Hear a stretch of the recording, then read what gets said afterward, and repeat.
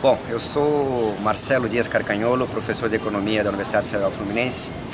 Eu estou aqui primeiramente para mandar uma saudação é, para os colegas da rede de estudos é, sobre a dívida e a auditoria da dívida.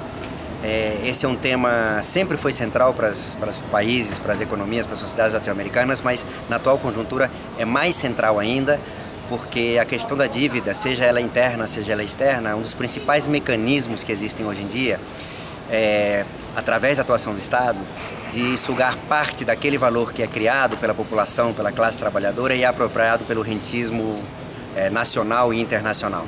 Portanto, mando essa saudação. Esses estudos são extremamente importantes para que nós tenhamos, a partir do concreto, bandeiras com as quais a gente consiga enfrentar a forma como o capitalismo contemporâneo atual está tentando sair da sua crise.